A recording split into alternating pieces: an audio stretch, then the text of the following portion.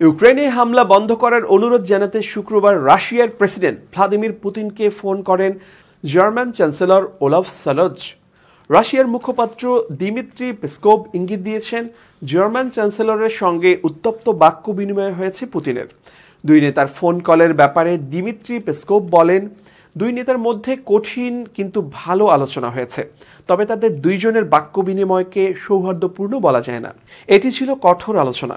এদিকে গণমাধ্যম সিএনএন জানিয়েছে, জার্মান চ্যান্সেলরের কাছে পুতিন অভিযোগ করেছেন ইউক্রেন শান্তি আলোচনায় সময় ক্ষেপণ করছে। রাশিয়া চাইছে দ্রুত সমাধান হোক, কিন্তু ইউক্রেন সমঝোতার আলোচনা দীর্ঘায়িত করছে।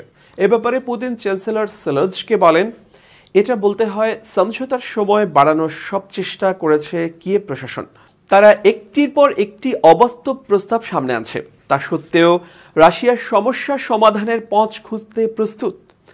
এদিকে জার্মানির সরকারি দপ্তর থেকে জানানো হয়েছে, চ্যান্সেলর ওলাফ শেলজ দ্রুততম সময়ের মধ্যে ইউক্রেনের যুদ্ধবিরতির ঘোষণা দিতে পুতিনকে অনুরোধ করেছেন। তাছাড়া মানবিক করিডর তৈরির জন্য তিনি পুতিনকে অনুরোধ করেছেন।